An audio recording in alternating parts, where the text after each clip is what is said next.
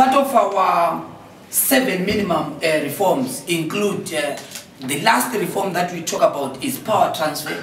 We believe that that reform must be in the constitution. Like any other jurisdiction in the African continent and the world, there must be a clear stipulated provision in the constitution that defines the role of the winner, the role of the winner, and the role of the loser.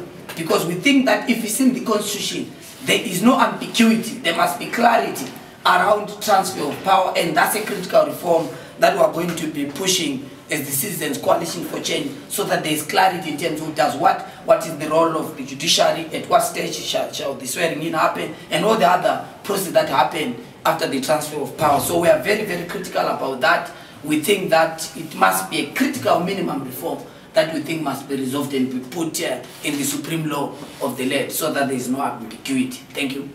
Uh, to have meetings with them on the deepening and increased political crisis, and of course the question of reform, which we think is at the center of Zimbabwe's vicious disputed election that have been uh, visiting this country since uh, 1980.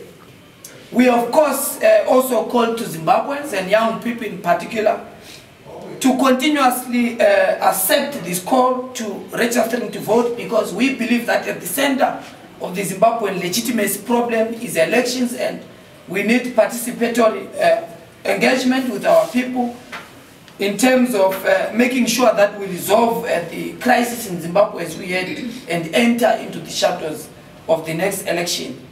We also want to thank, um, as I'm concluding, we want to thank uh, Zimbabweans who have continued to show support against difficulties. You know that we went to a by-election after the assault to the pro-democracy movement, but we continue to exist. We came in new form and character and launched a new vehicle that has uh, swiped and uh, been present across the length and breadth of our country. And we want to salute and thank Zimbabweans who have stood firm against clearly state-sponsored violence, against brutality.